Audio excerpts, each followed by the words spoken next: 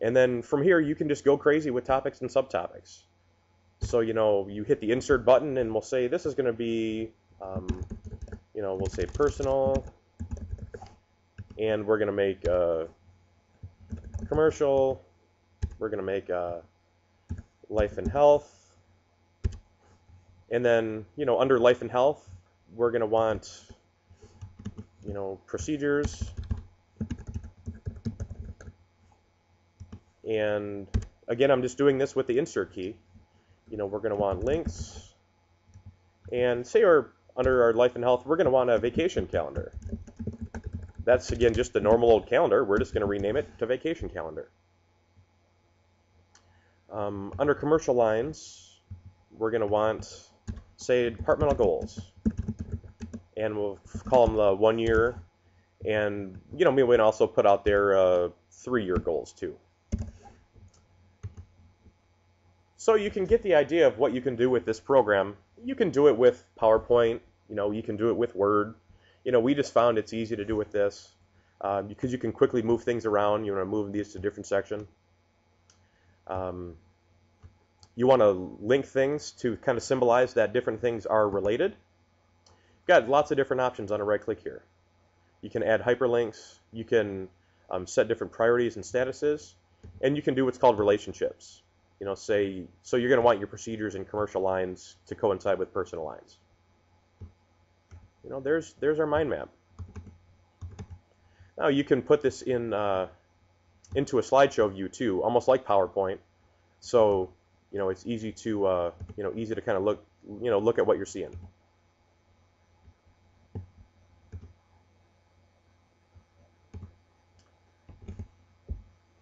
So we've talked about you know SharePoint helping you get to know what's there, what's possible, you know what kind of items are out there, and then permissions, you know how you're going to handle that, then how you're going to go about brainstorming your site because you're going to want your plan really before you start creating your site.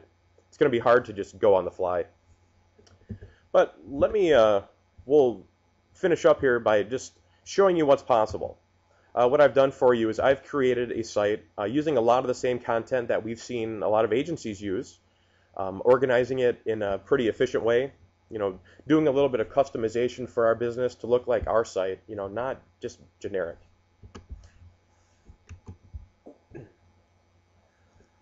So here's our, you know, here's our not yet completed, but uh, you know, quite far along uh, SharePoint site.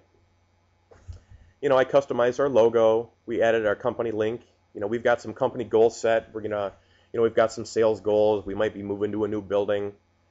Um, we've got a welcome message, you know, welcome to our intranet site. You know, we made a wiki, which we might have just some fun facts about our company.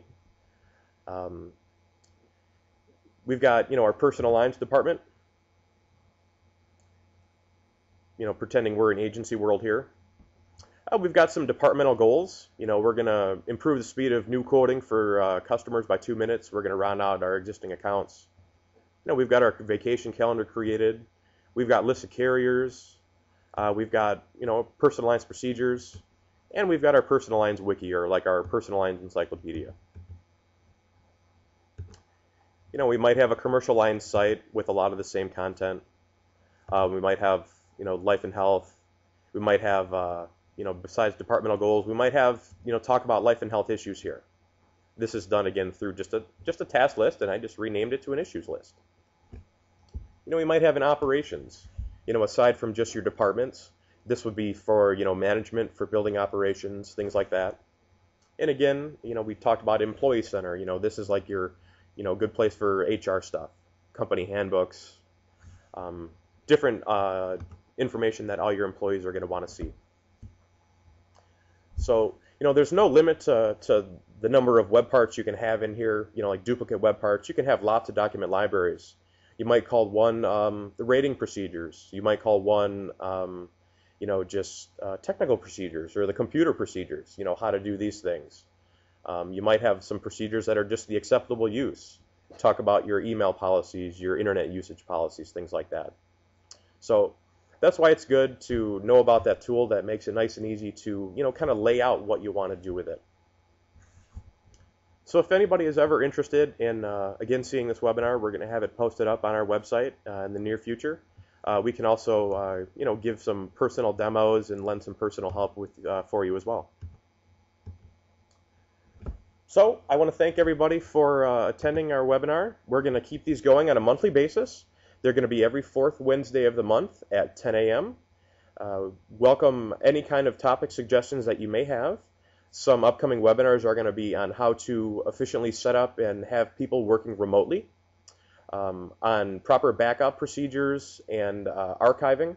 You know, I know archiving is a, a, hot topic nowadays with a lot of the privacy laws out there, and you know, having the uh, the looming lawyers over your head, you know, asking you to get a fact back from four years ago.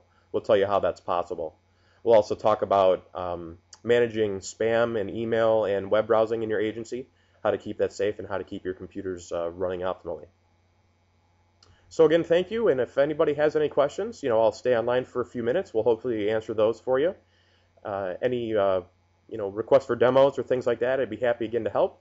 You can just send us an email here. Uh, you can get me at bryant.caudill, that's B-R-Y-A-N-T, dot C-A-U-D-I-L-L, at smartservices.com.